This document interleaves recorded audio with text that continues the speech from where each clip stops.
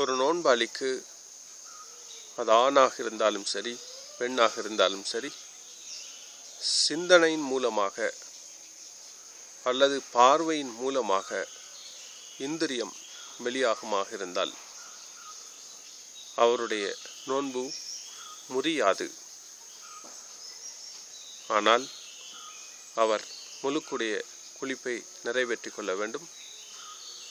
ஒரு நோன்பாளியை பொறுத்தவரையிலே இச்சை சார்ந்த விடயங்களை பார்ப்பதை தவிர்த்து கொள்ள வேண்டும்.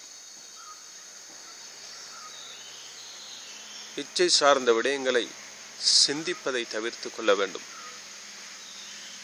அவற்றை மனோ இச்சையுடன் சம்பந்தப்பட்டவற்றை பார்ப்பது சிந்திப்பது போன்றவற்றால்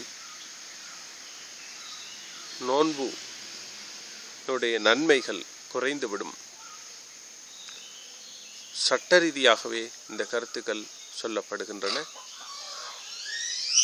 பார்வையினால் அல்லது சிந்தனையினால் ஒரு ஆணுக்கோ பெண்ணுக்கோ இந்திரியம் நோன்பு நோற்ற நிலையில் வெளியாகினால் நோன்பு முறியாது என்றாலும் இப்படியானவற்றிலிருந்து ஒரு நோன்பாளி தன்னை பாதுகாத்து கொள்வது அவனுடைய பொறுப்பாகும்.